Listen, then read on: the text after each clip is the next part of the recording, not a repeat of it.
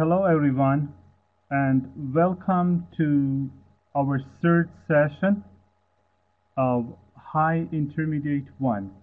Uh, hope everything is just okay. Well, today uh, we'll be covering pages uh, 6 and 7 and two pages of the magazine, that is pages 36 and 37. Let's just get started. Uh, could you please go to page 6, the listening activity? Here in exercise 3a, uh, we have some pre-listening questions. 3a, work with a partner and discuss the following questions. The first question, do you think all cultures use the same body language? Uh, well, you know, uh, there are different uh, body languages. Okay, for example, just a minute. Yeah, here. You see, uh, this is the OK sign. Yeah, OK sign. Uh, then this is the V sign, as you know and of course this is the OK sign, uh, the V sign, and the sum up. Yeah, again, it, it represents uh, that something is fine. Uh, so these are some examples of uh, body language, especially in English. Uh, I don't think uh, in all cultures uh, they have the same meaning. You know just uh, take the uh, thumbs up for example.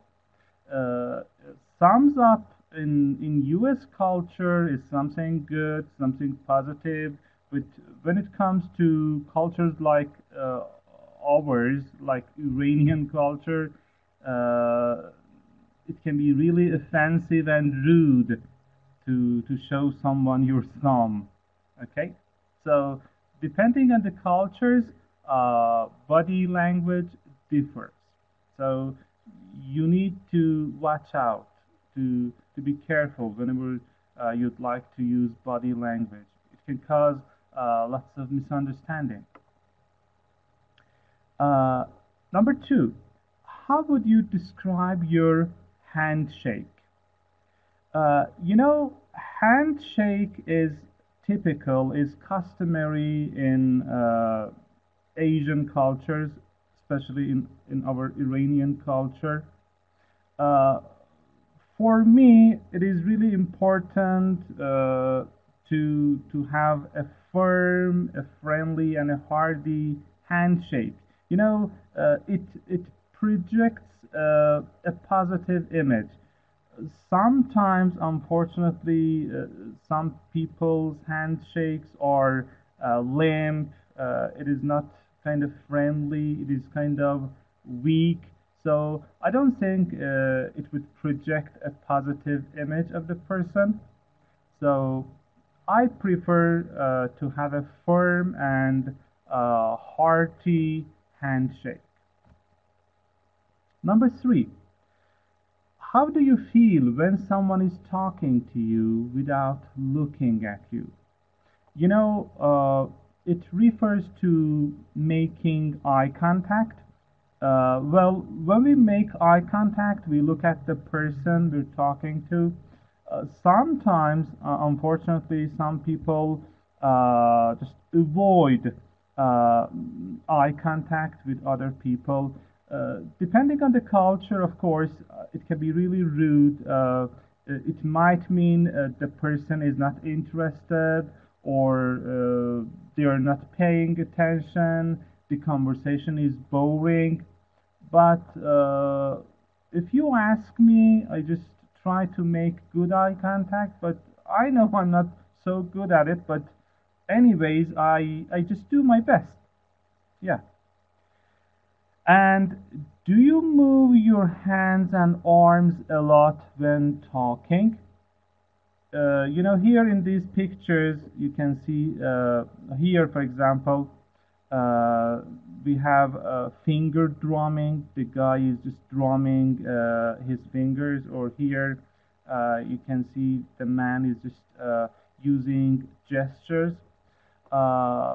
Uh, for me, personally speaking, I don't think I use uh, a lot of gestures. I don't use my hands and arms much. I do use some gestures, but just enough, I, I suppose. Okay. Uh, 3B, listening. Listen to a recording about body language and answer the questions. You see there are six questions here. Uh, there is a note. Uh, number of the words in your answers should be the same as the numbers in the parentheses. For example, here in uh, question 1, uh, what can be read from a person's body language? You see, the uh, it says here two words. It means uh, you you shouldn't use more than two words. Your your answer uh, must be at most two words. So please pay attention to the number of words in your answers. So before I play the audio, could you please uh, check out the six questions? Have a look. Remember, it's really important uh, to take a look at the questions before listening.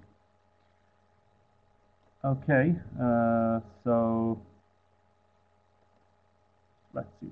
Now, everyone, take a listen to answer the question.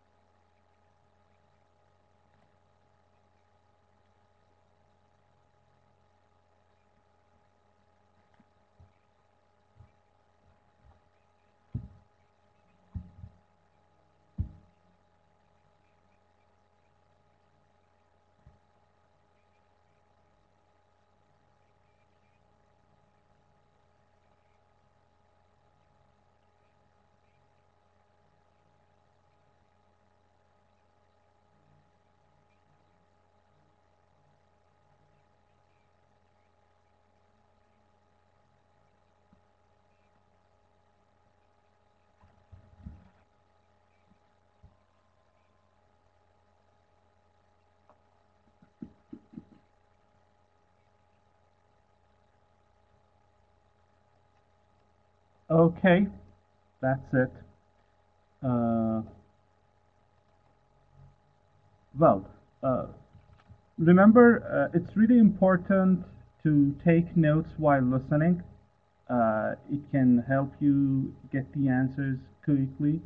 Uh, it can help you uh, keep focused on the listening audio. The questions. Number one, what can be read from a person's body language? Two words. So, if you remember, uh, confidence and shyness. Uh, let me just uh, type the words here so that you can see the answers. Okay, so here, everyone, number uh, one, confidence and shyness. Number two, what does the way one's eyes meet with other eyes indicate? Okay, what does it show? What does it represent? Three words.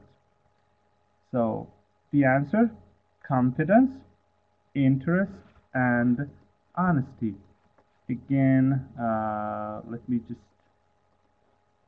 type the answers here. Yeah, here we go. Yeah. So, confidence, interest, and honesty.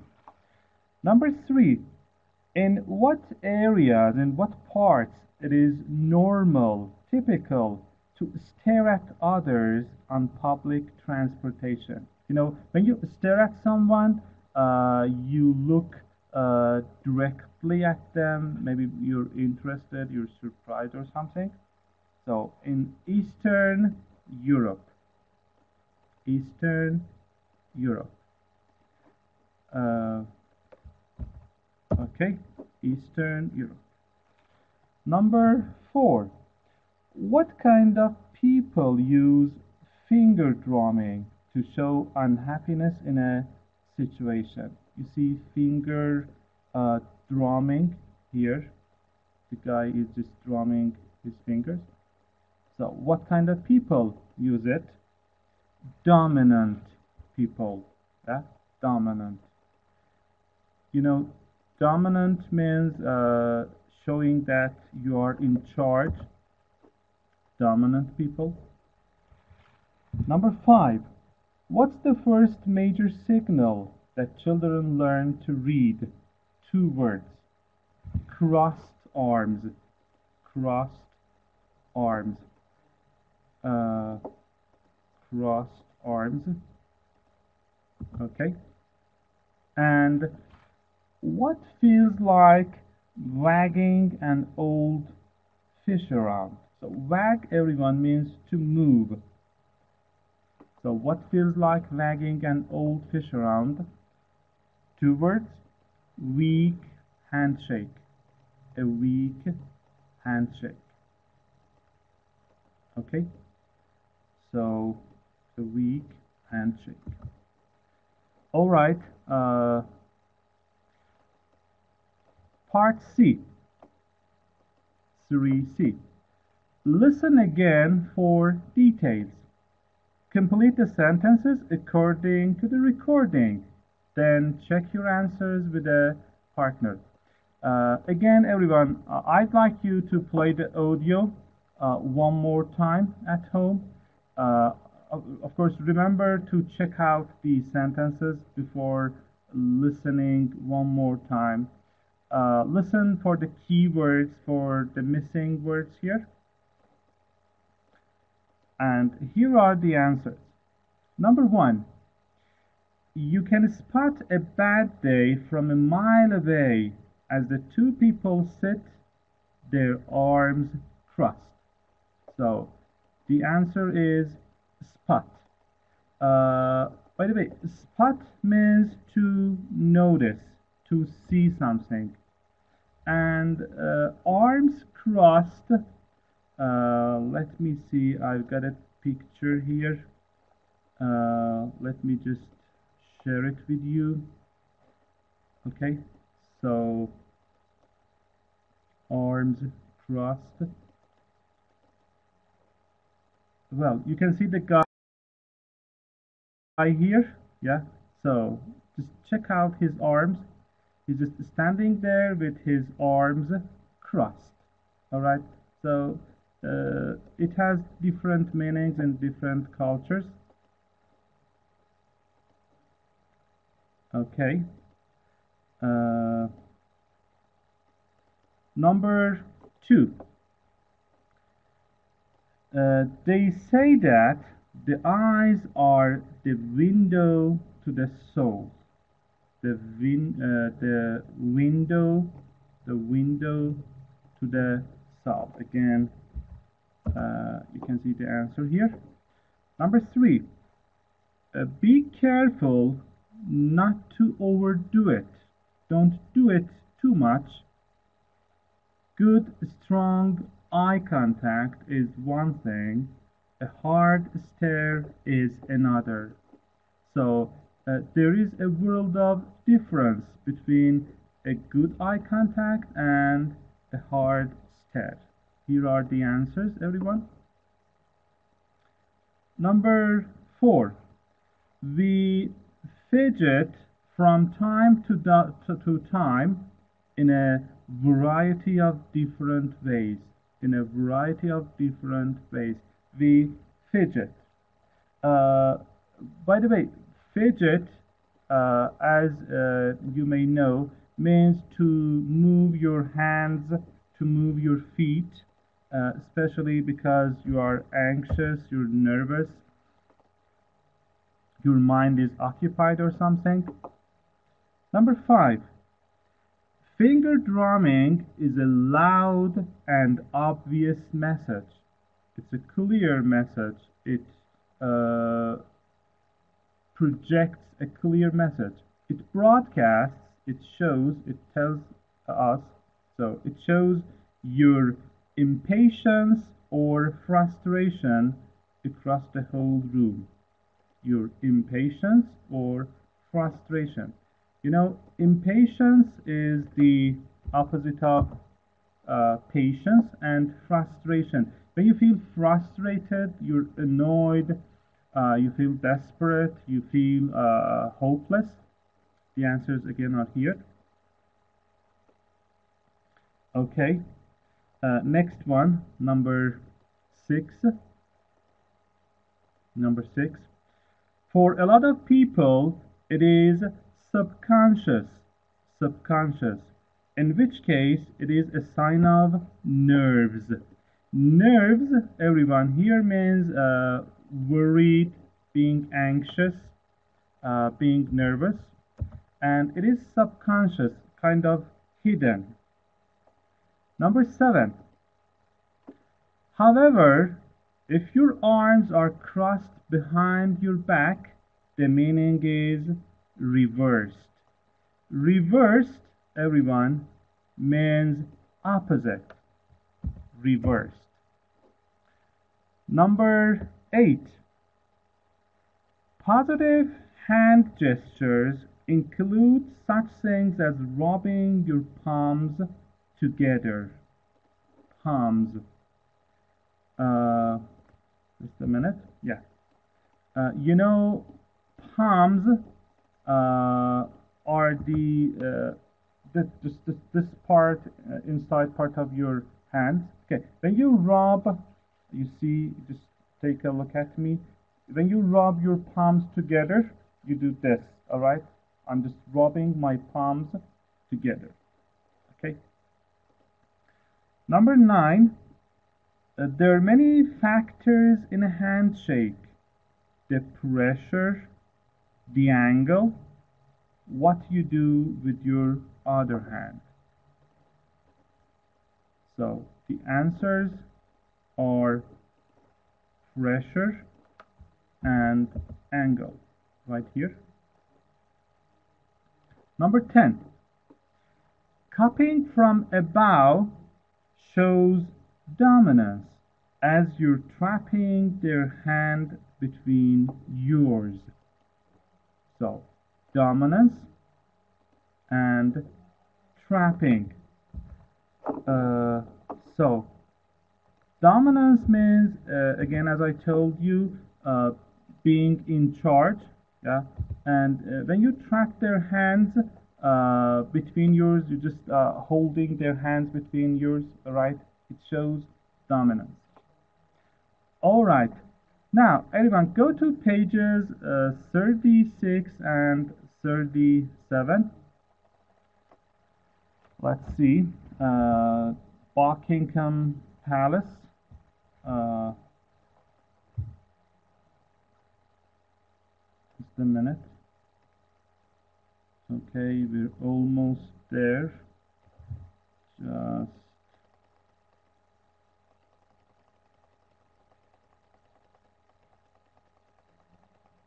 uh-huh. Couple of more pages and oops. Oh my god. Yeah. Okay. Yes. So Buckingham Palace. Or uh, they call it just the palace. Buckingham Palace or just the palace. Uh, as you may know everyone uh, Buckingham Palace or the palace is uh, the official home of uh, the British royal family uh, and it is located in London.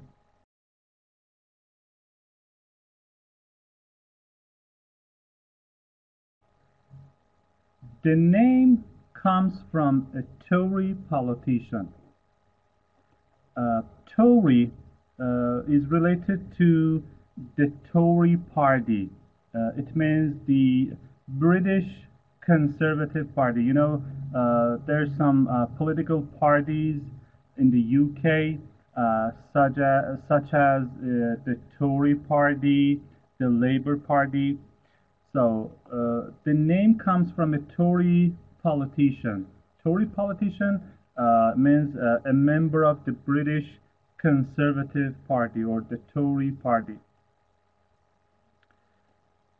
John Sheffield became the Duke of Buckingham in 1703.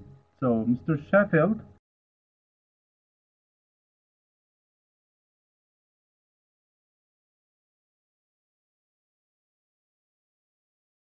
became the Duke of Buckingham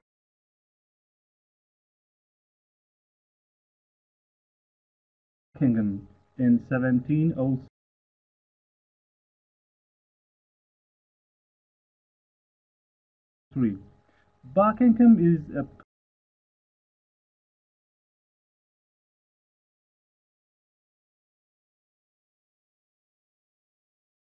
place, uh, an area uh, in the UK. The Duke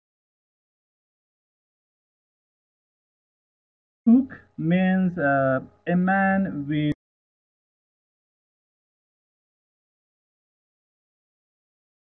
a high social rank, Duke. And uh, for a woman, we say uh, Duchess. Yeah, let me just uh, type it here for you. So, uh, Duchess, Duke, and Duchess think of uh, Prince Harry and uh, his beautiful uh, wife Meghan.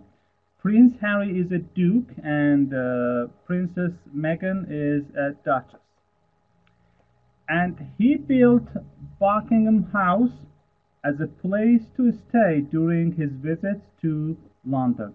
So Mr. Uh, Sheffield used uh, the Buckingham House uh, to, to live in, to stay when he made uh, visits to London, when he just traveled to London.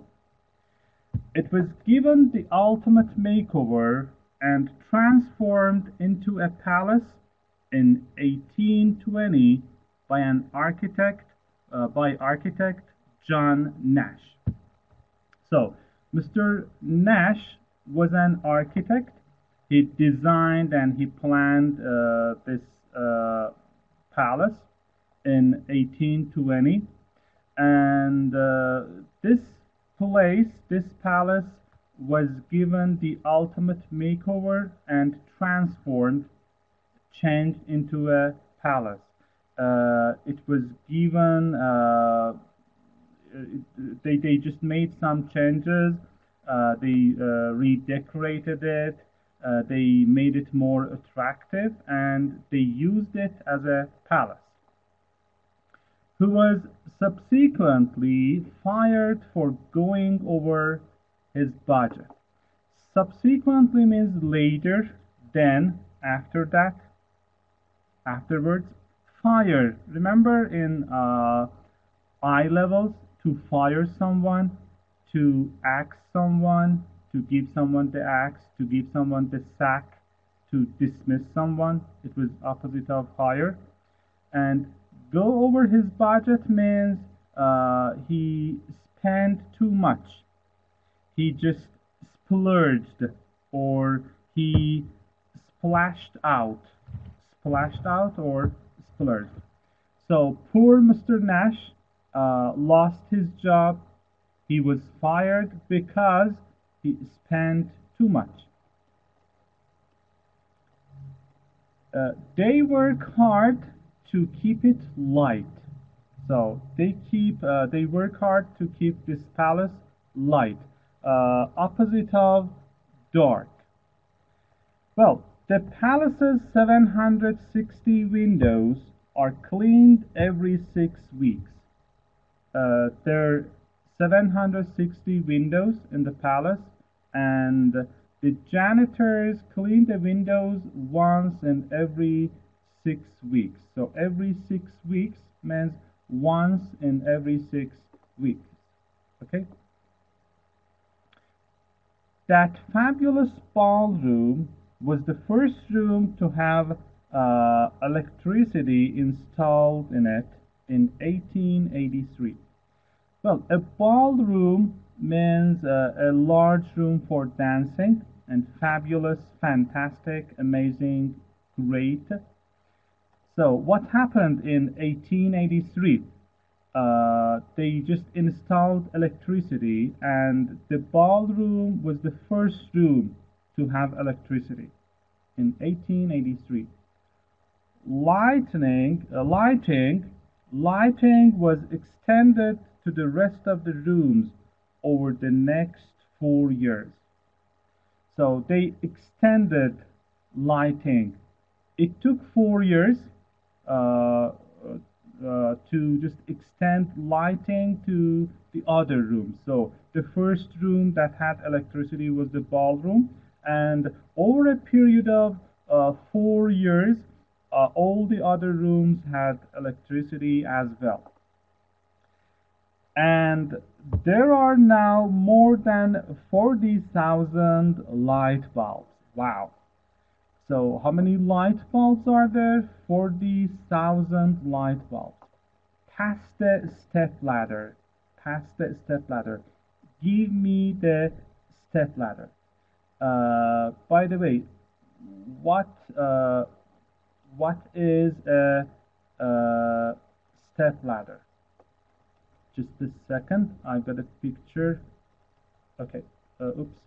That this one. Everyone. This is a step ladder okay so this is a step ladder pass me the step ladder give me the step ladder because there are lots of uh, uh, let, us say not lots of there are too many light bulbs uh, they might be burned out and uh, I need to maybe change change some of them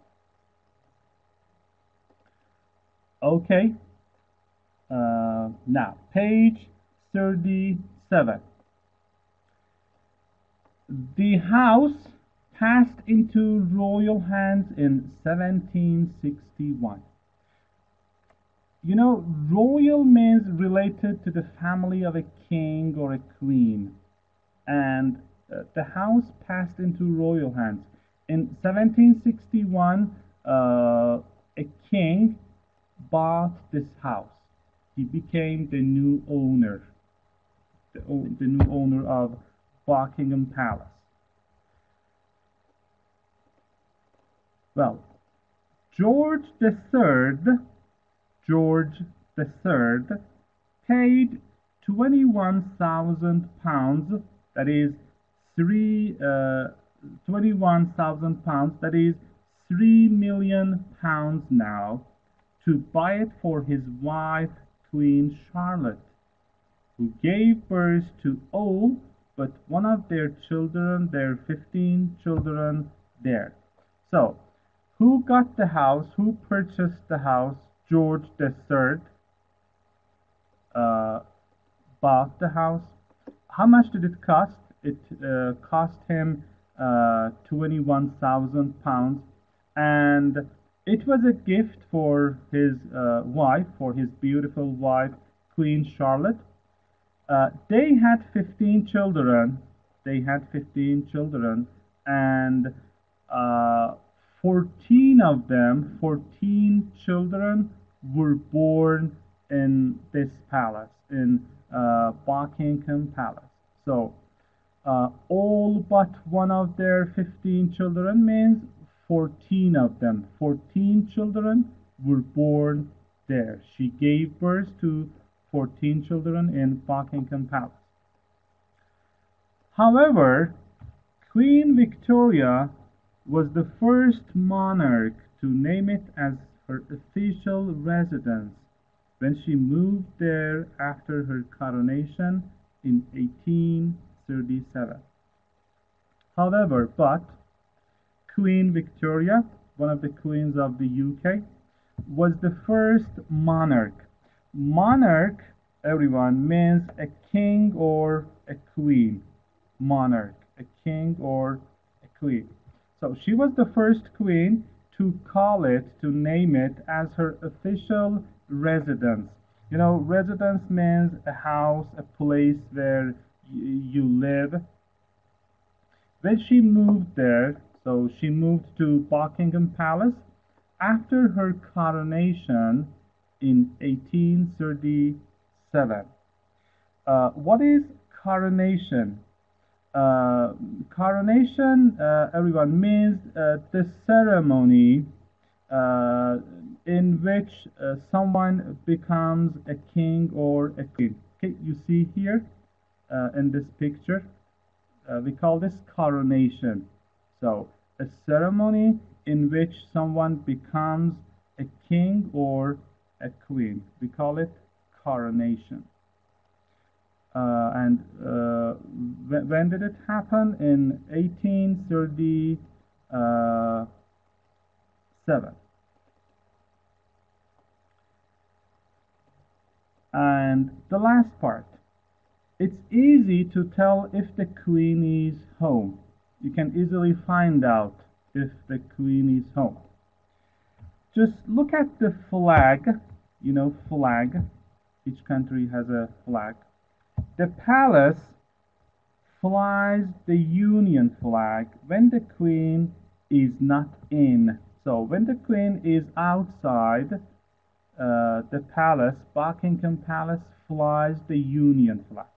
I'll tell you what Union flag is. Just wait a second. I have some photos. And the royal standard when she is. When she is means when she is in the palace.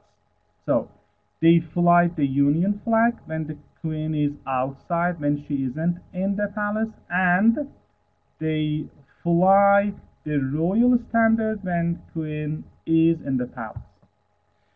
You might also spot the ladder. Spot the ladder. Spot means notice, see.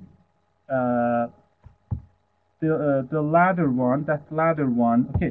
Uh, ladder one means the second one. The second one here means uh, the royal standard. The royal standard. So you might also spot see the royal standard fluttering from Victoria Tower. You know, flutter when uh, a flag flutters in the wind, it makes a gentle movement, fluttering uh, from Victoria Tower at the Palace of Westminster. So uh, the Victoria Tower is at the Palace of Westminster. This signifies the Queen is in Parliament. This shows This represents the Queen is in Parliament. Now, uh, the pictures I told you about. Uh, okay, so this one, everyone, this is the royal standard. The royal standard, one of the flags in the UK. This one is the Union flag. The Union flag. It is the uh, national flag of the uh, UK, the Union flag, or they call it Union Jack. Uh, then uh, this is a step ladder. Uh, we have the coronation here, and yeah, you see this is a flag and flutter. You know, uh, when uh, a flag flutters, as I told you, it makes some gentle, nice movements. Well, this one, everyone, this is uh, the Palace of uh, Westminster. The Palace of Westminster. Here, this one, yeah, it is uh, Victoria Tower, and uh, as you can see, uh, the flag is right here. So, this is the Palace of uh, Westminster.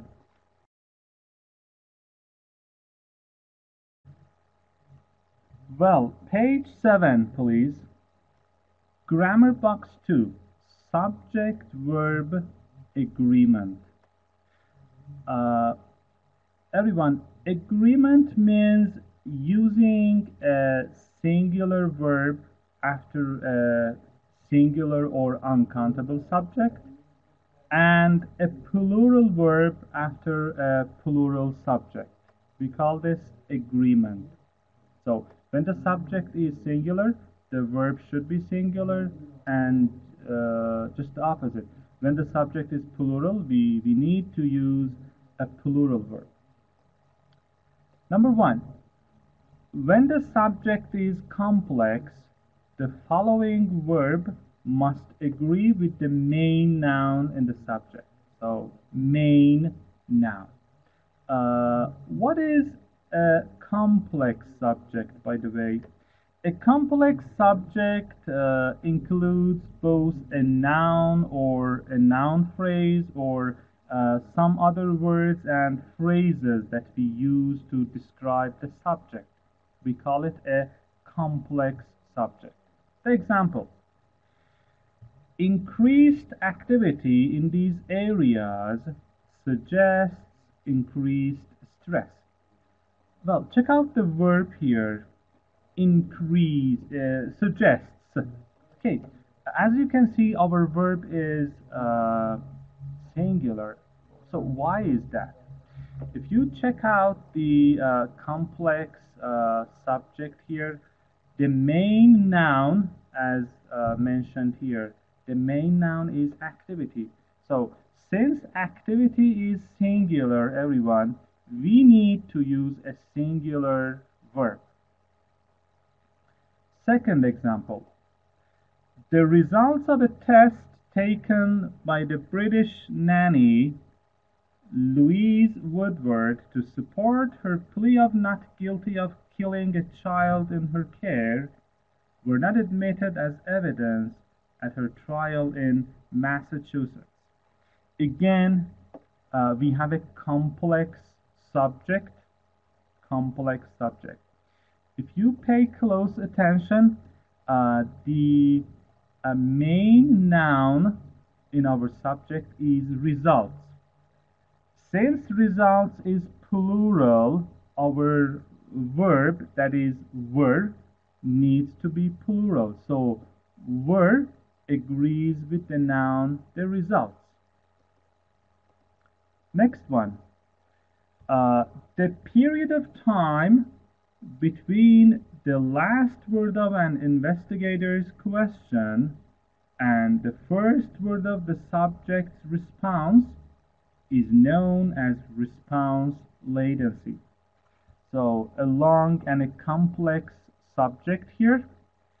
Uh, as uh, you can see, the main noun here is the period of time, period of time. Singular or plural? Of course, singular, which means our verb should be singular, is. Okay. Next part, number two. If the subject is a noun clause, or a gerund construction or an infinitive construction. So a gerund construction or an infinitive construction, we usually use a singular verb. Uh, what is a noun clause, everyone? Uh, noun clause is a dependent clause uh, which acts as a noun. Uh, everyone, noun clauses in English usually begin with uh, words like uh, how, that, what, when, where, whatever, whom, why, who, which, and etc. So, a noun clause which acts as a noun. A gerund construction means uh, the ing form of the verb, we call it a gerund, and an infinitive construction, uh, to plus verb. So remember, when our subject is a noun clause, when it is an uh, ing construction, or when it is to plus a verb construction, uh, our verb is usually singular. Uh, here are some examples. uh, to keep these people, uh, these young people, in prison is inhuman. Inhuman. Inhuman means very cruel. Our verb is, uh, which is singular. Why? You see, to keep these young people in prison, it is an infinitive construction. An infinitive construction. Second example. Having overall responsibility for the course means that I have a lot of meetings. What is our subject here? Having overall responsibility for the course. What type of subject is it? It is a gerund construction. So the verb should be singular. Means is singular, everyone. Next one. Whoever took them remains a mystery. Whoever took them. Remember, it is a noun clause.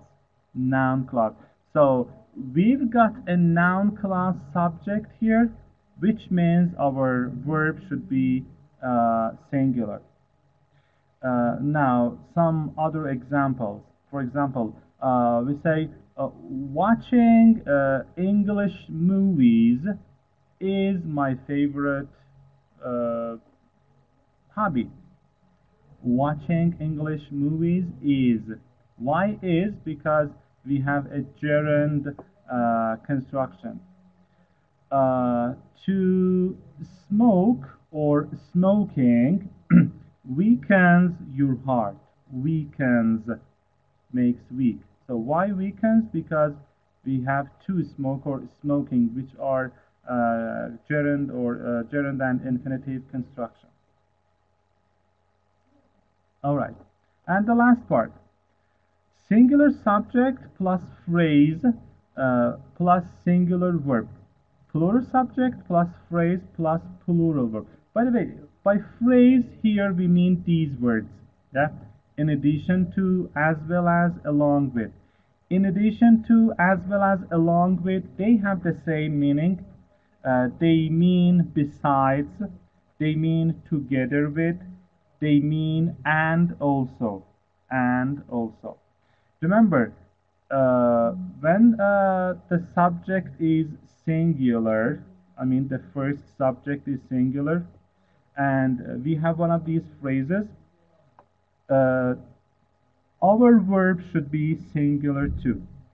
And when the subject is plural and we have one of these phrases our uh, verb should be plural. In short to put it in a nutshell, uh, when we connect two subjects using these phrases, using in addition to, as well as, along with, besides, together with, uh, our verb agrees with the first subject. The verb agrees with the first subject. Example Tom, as well as Mary, was invited to the party. The subject, uh, the verb is was. Why? You see, Tom, our first subject, because it is singular, the verb should be singular. So, Tom was invited. Next one. The students, as well as, or in addition to, or along with, the committee member are excited. Why are? You see, our first subject is the students. So it means the verb should be plural. Another example. Uh, California, in addition to, or as well as, or along with, or together with. So California, along with Florida and Hawaii. So, so everyone, should I use is or are?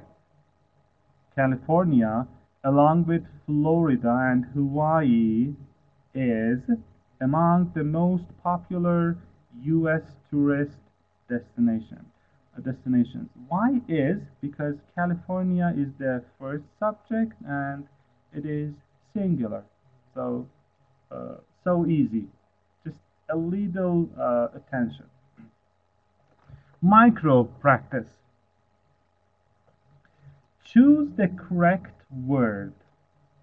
Number one, the people who listen to that music are few. Why are you know our subject the people? Remember everyone people in english is always plural. Uh, we have people the police clothes fish uh, cattle. They are always plural in english. People police clothes cattle and fish always plural number two the team captain as well as his players anxious. Anxious means nervous, worried. You see, we have as well as two subjects connected with as well as.